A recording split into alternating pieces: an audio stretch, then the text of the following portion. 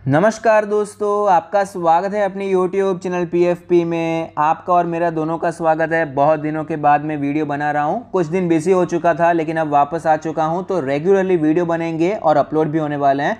तो आज 20 अक्टूबर 2021 को मार्केट का सेंटीमेंट नेगेटिव नज़र आता है। निफ्टी फिफ्टी 0.83 परसेंट नीचे निफ्टी बैंक 0.06 परसेंट नीचे। इसके बावजूद हमें लोगों के पोर्टफोलियो में दो से तीन परसेंट की भारी गिरावट नज़र आती है। उसका सिंपल रीजन है, मिड कैप, स्मॉल कैप में भारी गिरावट हो रही है। निफ्टी मिड कैप हमें दो परसेंट नीचे नज़र आता है। कल भी इसी प्रकार की गिरावट देखने को मिली थी। आज भी हमें सेम सिनेरियो कंटिन्यू रहता हुआ नज़र आया। स्मॉल कैप में भी सिमिलर सिचुएशन बनी हुई है। एडी रेशियो में भी हमें यही नज़र आता है। क्लियरली मार्केट डिक्लाइन के फेवर में है। कॉमोडिटी के बारे में बात करें तो क्रूड ऑयल नेचुरल गैस में डेढ़ परसेंट की गिरावट है। गोल्ड सिल्वर में आधे एक परसेंट की तेज़ी दिखाई पड़ती है। करेंसी के बारे में बात करें तो रुपये आपको बहुत ही ज़्यादा वीक नज़र आता है। 74.87 हो चुका है। क्लियरली बहुत ज़्यादा वीकनेस आपको यहाँ पर भी दिखाई पड़ती है। ग्लोबल इंडाइसेस के बारे में बात करें तो ओवरऑल फ़िलहाल ग्लोबल इंडाइसेस में कुछ नहीं हो रहा है। आज के लिए फ़िलहाल थोड़ी सी शांति नज़र आती है।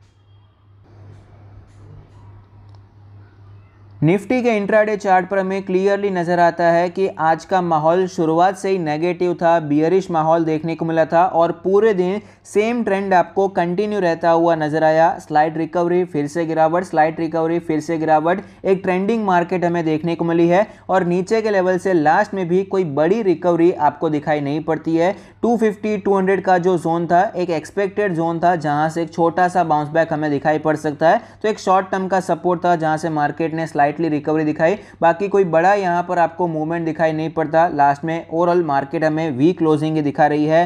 डेली कैंडल्स के बारे में बात करें थोड़ा सा बड़ा टाइम फ्रेम देखिए तो क्लियरली पता चलता है ओवरऑल ट्रेंड मार्केट का अभी भी बुलिश ही चल रहा है। मार्केट अभी भी अपने सारे मूविंग एवरेज के ऊपर है, अठारह के ऊपर ट्रेड कर रही है। ऊपर के लेवल से हमें 300-400 पॉइंट का फॉल देखने को मिला है, जो कि एक्सपेक्टेड है, क्योंकि मार्केट में इतनी तेज़ी चल रही है। मार्केट तीन दिन में आपको अठारह से अठारह तक जाती हुई नज़र आई है। तो थोड़ी सी गिरावट देखने को मिली प्रॉफिट बुकिंग होती हुई नज़र आती है, लेकिन निफ्टी फिफ्टी में जिस प्रकार की मूवमेंट है, उससे कहीं ज़्यादा खराब हालत आपको मिड कैप स्मॉल कैप में दिखाई पड़ रही है। इसीलिए माहौल थोड़ा सा यहाँ पर ज़्यादा ही बियरिश होता हुआ नज़र आया। बाकी ओवरऑल ट्रेंड तो मार्केट में अभी भी बुलिश ही चल रहा है। आर भी हमें सिक्सटी प्लस से दिखाई पड़ती है और जब तक मार्केट एटीन के ऊपर है तो ऑफकोर्स यहाँ पर ज़्यादा बियरिश होने का कोई रीज़न नहीं है हमारे पास। सपोर्ट्स के बारे में बात करें कल के लिए जो सपोर्ट की तरह हमें नज़र आ सकता है अवरली चार्ट पर एक बार देख लेते हैं। अवरली चार्ट पर हमें नज़र आता है कि 18,200 का लेवल बहुत ही ज़्यादा इंपॉर्टेंट लेवल है। अगर ये लेवल टूटता है तो आपको 18,100 के लेवल दिखाई पड़ सकते हैं। तो ये कल के लिए बहुत ही ज़्यादा इंपॉर्टेंट लेवल्स हैं। रेजिस्टेंस के बारे में बात करें तो फ़िलहाल मार्केट यहाँ पर थोड़ा सा बियरिश ज़्यादा है। तो ऊपर के साइड पर रेजिस्टेंस बहुत ही ज़्यादा नियर लेवल्स पे है। 350 के आसपास 300 के आसपास आपको इमीडिएट रेजिस्टेंस फेस करना पड़ सकता है। थोड़ा लॉन्गर होराइजन के बारे में बात करें तो 18,000 का एक सपोर्ट है और 18,600 के आसपास जो कि रीसेंट आया है एक रेजिस्टेंस की तरह नज़र आता है। तो इस 500-600 पॉइंट की रेंज में मार्केट आपको ट्रेड करती हुई नज़र आ सकती है।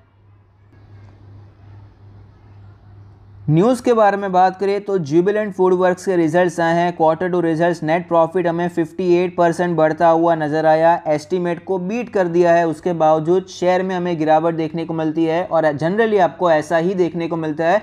तेज़ी पहले से फैक्टरिंग हो जाती है। रिज़ल्ट आते हैं, अच्छी न्यूज़ आती है, उसके बाद गिरावट देखने को मिल जाती है। हनीवेल ऑटोमेशन ने एक बड़ा कॉन्ट्रैक्ट लिया है। 497 करोड़ का, बहुत ही अच्छी बात है गवर्नमेंट ऑफ़ इंडिया की तरफ़ से। तो इनके शेयर होल्डर्स के लिए एक पॉजिटिव न्यूज़ बनकर आती है। एनबीसीसी को प्रोजेक्ट्स मिले हैं वर्थ 300 करोड़ तो ये भी एनबीसीसी के शेयर होल्डर्स के लिए एक पॉजिटिव बात है।